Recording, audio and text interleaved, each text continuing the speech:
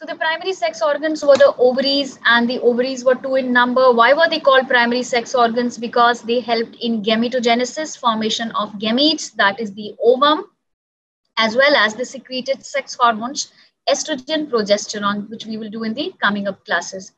Secondary sex organs are the accessory structures which are not producing gametes but helping in other functions of reproduction are the fallopian tube, the fallopian tube, the or the uterine tube, the uterus, which is the womb, the vagina, which is the birth canal, and the external genitalia. So this was the diagram where we had just uh, uh, identified the parts where there were two ovaries, two fallopian tubes, uh, uterus, cervix, and vagina. So this structure I had explained yesterday, and the three different parts of the uh, oviduct you can see uh, infundibulum, ampulla, and isthmus. So we will discuss about all this. And this slide shows again the different parts. So this also we had named. This was a sectional view of the ovary. This was a sectional view of the ovary and this shows different uh, follicles uh, in the ovary and uh, and just just to revise we had done that the ovary is covered by the germinal epithelium which nowadays is not called the germinal epithelium it is called the uh, cuboidal or the surface epithelium. And inner to the germinal epithelium, we have the um, uh, the the tunica albuginea, and inner to the tunica albuginea, you have two regions: the cortex and the medulla.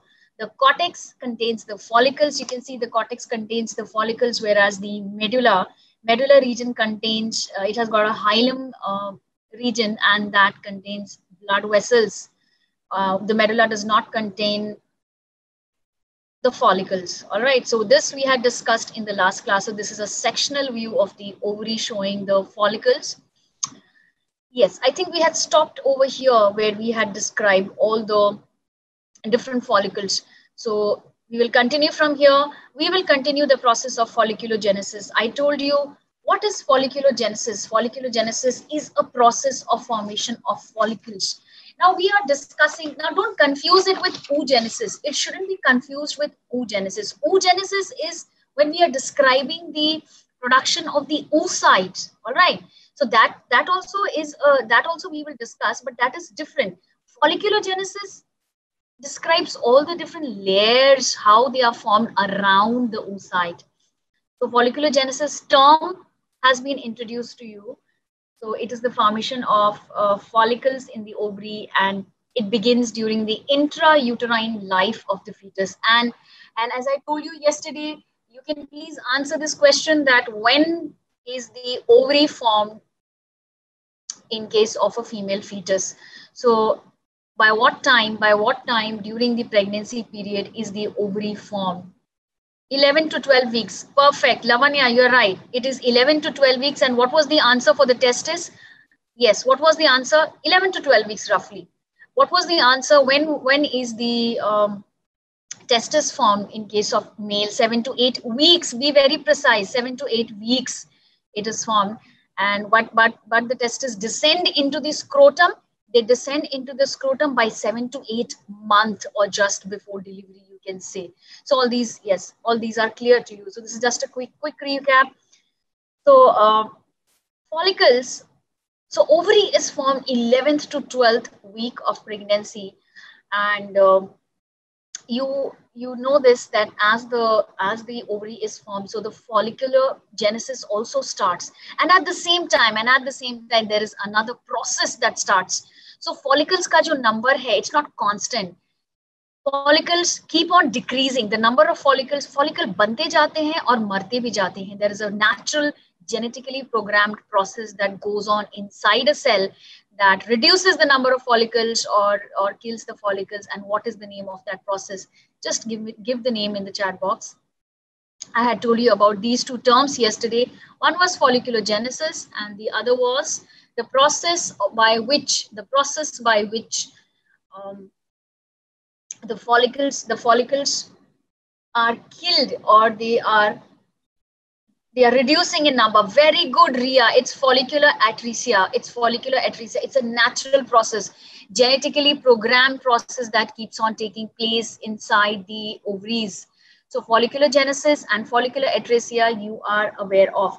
Now, today we are going to discuss the different stages of uh, follicular genesis. So in this diagram, you can see, in this diagram, you can see that the first stage is the primordial follicle. So a female is born, a female is born. I mean, before birth also she has many follicles in the two ovaries. Now, since the ovaries are formed by 11th to 12th month, uh, 11th to 12th weeks, so the follicular, the follicles also start forming. So inside the ovary, there are follicles forming and even the process of oogenesis starts. So, but for oogenesis, I'm going to tell you the details little later. All right, so let us now see the structure of the primordial follicle and primary follicle. You can see the primordial follicle is very small and you can just see uh, a small, uh, let us just label over here itself. So we had stopped over here. So we can see that the follicles are very small initially. Very small initially very small initially and uh, uh, what do they have? So i told you that you know initially what is going to be there? Initially they just have um, there's like this is the this is the secondary oocyte. Okay one thing. The the you should not say ovum you know it's it's a term that we have used for our uh, you know convenience but but ovum is not formed. Ovum is formed only after fertilization. All right? So at the time of fertilization sorry this is actually the secondary oocyte. So what you can see this pinkish thing is the secondary oocyte.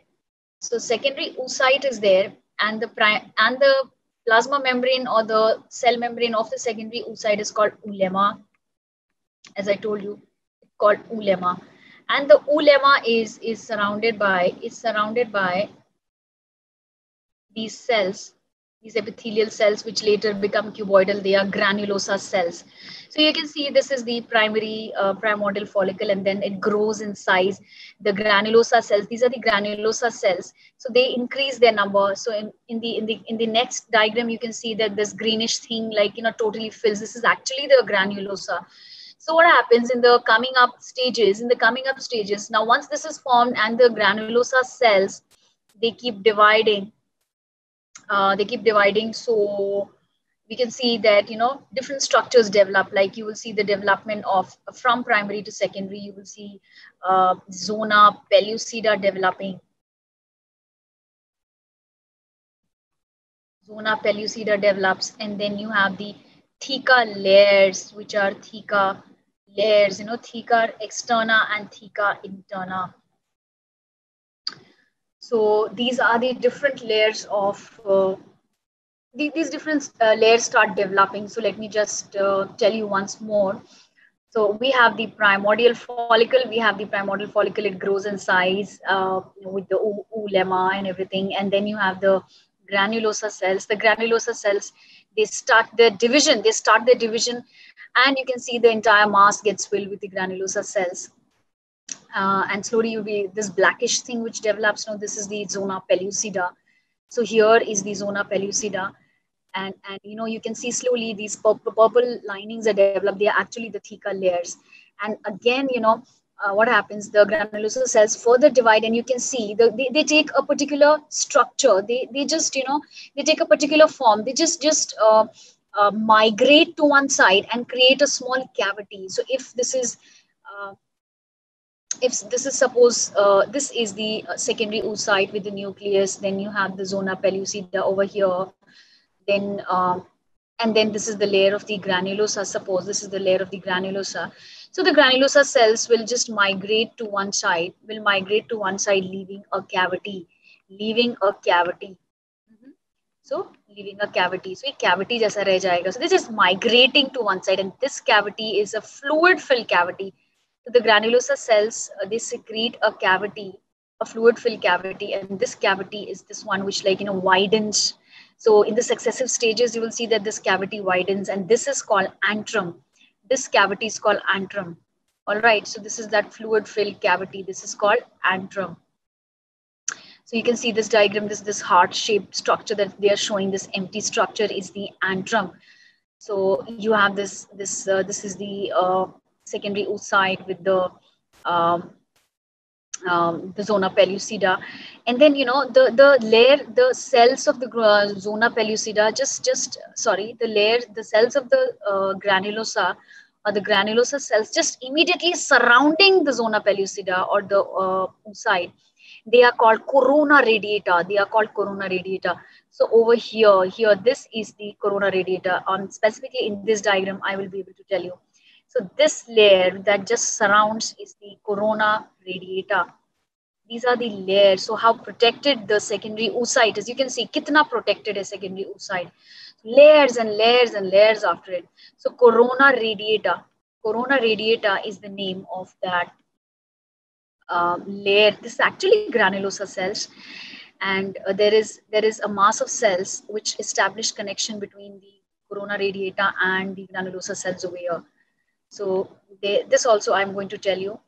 And then this is this antrum. This is antrum that I have already told you. Okay. And then you have uh, a basement membrane. You have a basement membrane. And outside the basement membrane, the, the inner layer is theca, theca uh, interna and the outside is theca externa. So these are the different uh, uh, follicles. So in order you have to learn primary primordial follicle, primary follicle, secondary follicle, tertiary follicle, and tertiary follicle, and the mature Graafian follicle. And in this diagram, after this, you know, they have shown the process of ovulation where the uh, this uh, the secondary the the Graafian follicle bursts after maturity and this ovum is released and whatever is left in the ovary uh, is called the corpus luteum, which is yellowish in color. And I told you the name of the corpus luteum, this yellowish color. Uh, again, the hint I'm, I myself I'm giving you. So uh, this yellowish structure, what is it called? What is the structure called? And what is the function of this, this structure? So ovulation is taking place, has taken place, and see ovulated oocyte. Ovulated oocyte that means this this this oocyte has been released, and after the release, whatever the remnants of the of the of the Graafian follicle, that is the theca layers and the and the remaining cells of granulosa and all these structures, they form this yellowish structure. What is this yellowish structure called? It is corpus luteum, the alternative name of corpus luteum, I'm asking you. Can anybody tell me the alternative name of corpus luteum is? Yellow body. Don't you remember it's yellow body? I told you yesterday, it's yellow body. Corpus luteum ka dusra naam hai yellow body because it has got this lutein protein and the carotene pigment. So it's called the yellow body. Did you recall? I told you this yesterday. And then it matures until what time it stays? It stays till the time uh, you know, it waits for the signal to come to tell it that whether pregnancy has happened or not. Agar pregnancy hua, so it is going to stay, you know, it has to be maintained for around three months. And if pregnancy has not happened, then it is going to degenerate. देखो ये फिर से वही stages हैं primordial follicle, primary follicle, secondary, tertiary, and this is the Graafian follicle. So वही same stages हैं. Another slide to show you. Yes, what is the question? Write in the chat box and you can ask me. So you have the primordial follicle, primary follicle, secondary follicle. and then again you can see all the time the granulosa cells are dividing, then this cavity. Cavity is coming. And this cavity is called, what is the name of this cavity? The name of the cavity is antrum, and you, you can see that it's been labeled antrum. So look at this. Again, you know, you have these structures so cumulus, these are the cumulus cells. Cumulus cells, they help to establish connection between the granulosa cells and the corona radiata. I told you about this. Now we will uh, look at the structure of a mature or the a Graafian follicle, the Graafian follicle, and just have a look at it. And are you familiar with these structures or not? इनके नाम इनके नाम देखो from outside to inside, या inside to outside करते हैं so you have this secondary oocyte. We, we, we should not call it ovum. Ovum ये तब कहलाता है at the time of fertilization when see I will tell you कि this is you know uh, इसका जो cell division है ना it's not complete it's arrested at the metaphase two of meiosis you know so this is not the complete ovum. This is at, released at the secondary oocyte stage. तो ये ये एक secondary uh, oocyte है. उसका plasma membrane is oolemma okay उसका plasmalemma is oolemma And then you have this zona pellucida. ये देखो zona zona pellucida. Immediate layer is zona pellucida. And उसके बाद जोना पेलोसिडा के बाहर जो ब्लूइश लेयर है ये ये ब्लूइश लेयर ये भी ग्रैनुलोसा सेल्स है just becoming modified this is corona radiata so this term is clear to you zona pellucida corona radiata then then you have another um, uh, this cavity cavity is there which is antrum it is also called liquor folliculi now see uh, yeah cumulus oophorus cells hai na these are actually a mass of cells that connect the uh, corona radiata to the granulosa cells, to the granulosa cells. And these are the granulosa cells, you know about them. Then you have a basement membrane. Then you have theca interna, and then finally theca externa. And then finally theca externa. So let us just write the layers in order let us just write the layers in order. You have to remember the layers in order. So सबसे from inside to outside, let us write. So you have the uh, secondary oocyte. The structure of the Graafian follicle is often asked. So you have the secondary oocyte and then you have the zona pellucida. You have the zona pellucida Outside the zona pellucida, you have the corona radiata.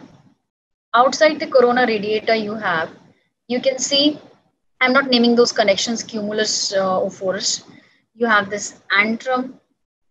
And then inside the, outside the antrum, what do you have? You have the granulosa cells. And then you have the basement membrane. Basement membrane ke bahar kya hai? Theca interna. Theca interna is vascular. Blood supply है इसमें it's glandular vascular so this is theca interna interna and सबसे बाहर is theca externa theca externa is made up of connective tissue उसमें कोई भी blood cells नहीं है. So L H hormone जो रिलीज़ होता है ना by the hypothalamus in goes it has receptors on theca interna और एफ़ एस एच का रिसेप्टर्स है on the granulosa cells I want tell you in the coming up slides So are you clear with this secondary oocyte, zona pellucida from inside to outside? Secondary oocyte, zona pellucida, corona radiata, the, the cavity antrum, granulosa cells, basement membrane, theca externa and theca, theca interna and theca externa. Is this clear to you? Uh, what this, your question is what this regressing corpus luteum do after the ova comes out. So I told you, now the fate of corpus luteum is decided by uh, whether the pregnancy has taken place, whether fertilization has taken place or not if fertilization takes place, a signal comes to the corpus luteum that it has to maintain itself for around three months and it keeps releasing hormones.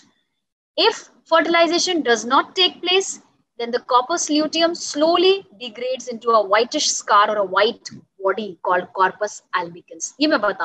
Clear? So the structure comes in the MCQs. You will be asked. Acha, if I ask you what is the connection between the uh, which which mass of cells connect the corona radiata to the granulosa cells in the in the Graafian follicle? What will be your answer? Or what answer you are going to mark? Cumulus oophorus cells. Very good. Corona radiata to the granulosa cells. You are right. Okay, now let us just proceed to the next slide. So you can see over here all descriptions are written. Ovary produces ova and secretes the estrogens and progesterone and you know that there are ligaments that connect. I told you last class that there are ligaments that connect the ovary to the uterine wall as well as to the body wall. All right. So it is attached to the abdominal wall by a ligament called the mesovarium. You should write this. It is the mesovarium that connects the ovary to the abdominal wall.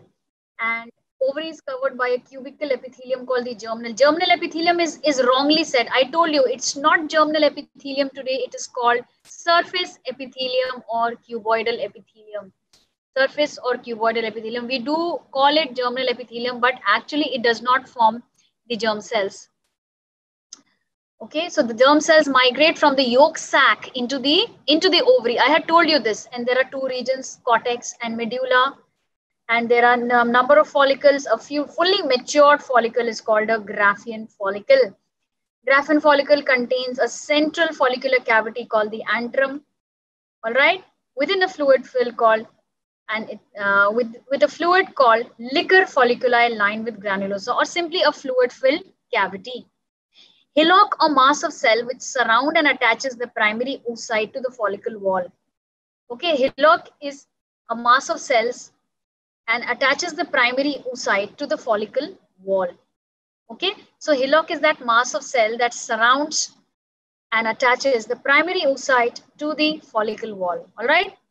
Oocyte of mammal is enclosed in a perforated membrane called the zona pellucida. Next to zona pellucida, corona radiata cells are present. So all this, these terms are clear to you. Graafian follicle secretes estrogens discharge of Graafian follicle. So discharge of ovum from the Graafian follicle is called ovulation. This is very important. And this takes place on the 14th day, I will tell you. But that's not fixed. It depends upon the menstrual cycle. Ruptured follicle turns into a yellowish mass of cells called the corpus luteum. And what is the function of corpus luteum? To secrete the female hormone progesterone. But corpus luteum also secretes some amount of estrogen also, estrogen and progesterone and some other hormones also like inhibin, the proteinaceous hormones. I'm going to tell you about it.